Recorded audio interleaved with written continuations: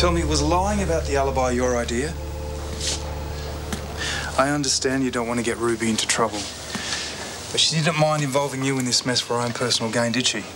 I don't see what difference it makes. Xavier's told you what you need to know. I'm sure you think Ruby isn't capable of putting herself first, but how can you be so sure? Because I know her. She was doing it for Charlie. Why else would she be doing it? Well, she was providing herself with an alibi at the same time, wasn't she? She doesn't need an alibi. She didn't do anything. And she wouldn't use me like that. Do you trust her completely, do you? It's all right, you don't have to answer that. And I already know she pressured you to come forward with the alibi. So all you have to do now is answer truthfully, okay? Did Ruby Buckton ask you to fabricate the alibi story?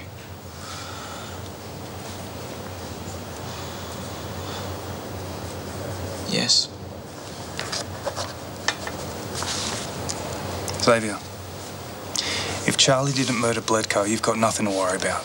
If she did, you've just done the right thing, haven't you? I'm still a bit worried you're taking on too much, juggling this new job and school. You don't need to worry about me, Charlie. I'm fine. Well, I know you haven't been sleeping well. Yeah, and you also know that I'm old enough to look after myself.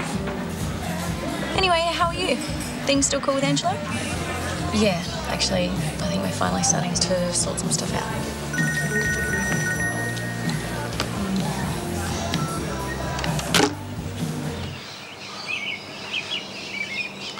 Charlie, you need to return my calls. I know you're upset about this, but we can't ignore it. Call me back, please. So you're still not going to tell me what this big fight between you and Ross was about? We disagreed on a couple of things. Really? Because you were angry, Charlie. You wouldn't even come back to the house and say goodbye to him. I've got to get home, but I'll talk to you later, okay? Okay.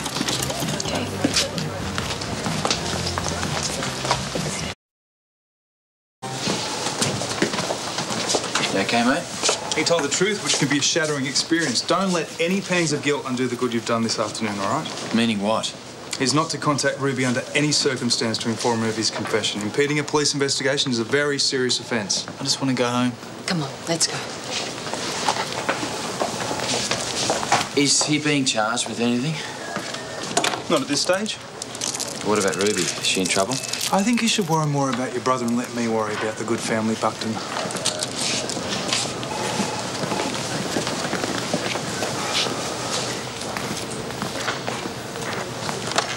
Don't even think about warning Charlie. You'll be handing him your head on a platter as well as making things even harder for Charlie.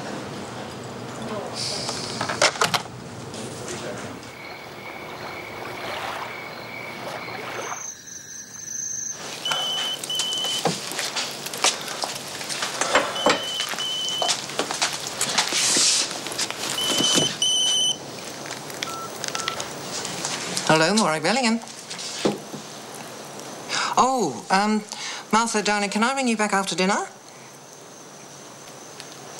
Well, did Robertson actually say he was going to arrest them?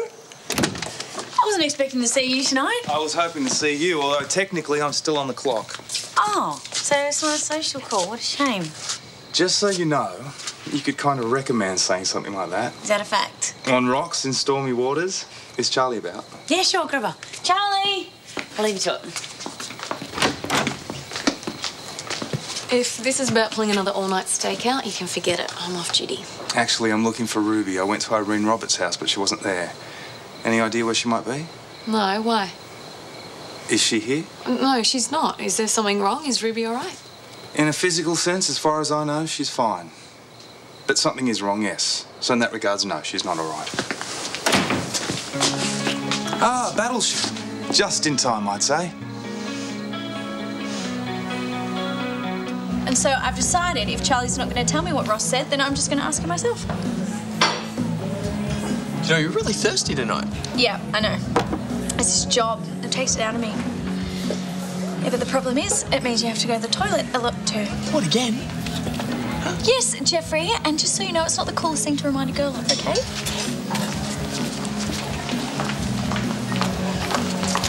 Well, uh, unless my eyes are deceiving me, it looks to me like you and Ruby are getting on like a house on fire. Yeah, we're good now. Oh, I'm glad you got it sorted out, though. oh, dear. This looks official. Yes, it is. I'm trying to track down Ruby Buckton. Have you seen her this evening? Is everything all right? Is Charlie all right? Why is everyone asking impossible questions tonight? Is everything okay? Finally, a question I can answer. Ruby Buckton, for providing false information to a homicide investigation, I'm afraid you're under arrest.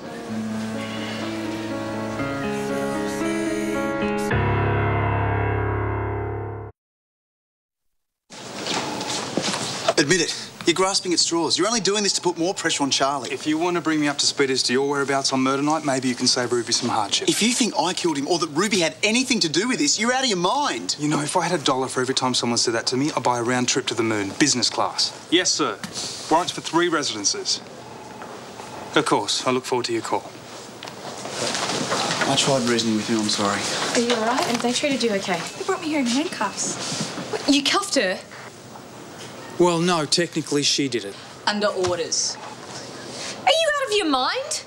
Make that trip first class. I love those sleeper beds. Ladies, interview room awaits. I already know that the alibi you provided for Charlie was false. It wasn't. Charlie was at home, like I said she was. Well, you can't be sure of that since you weren't there. And I know that too because Xavier opened up like a flower in bloom. Very delicate, but very precise. No, I don't believe you. No, it's true, Ruby. Xavier retracted his statement. Are you really that surprised, Rubes? I mean, you were using him after all. I wasn't using him, and don't you call me Rubes. It was your idea to come up with the alibi, wasn't it?